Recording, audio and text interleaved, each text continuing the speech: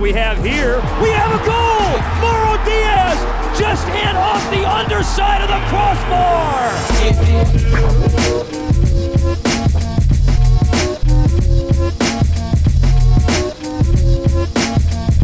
A quick restart here. This is going to put Barrios in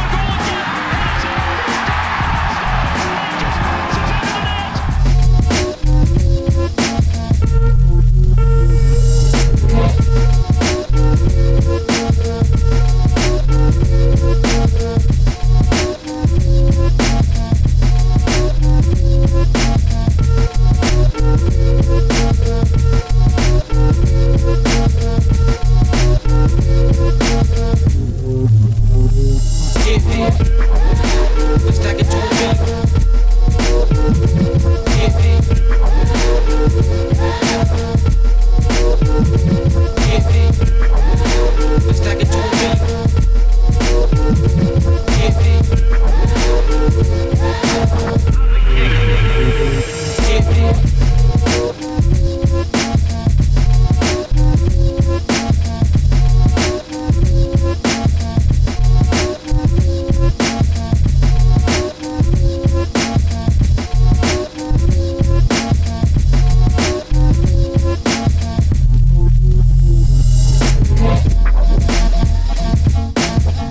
side of the right foot to Diaz. Long range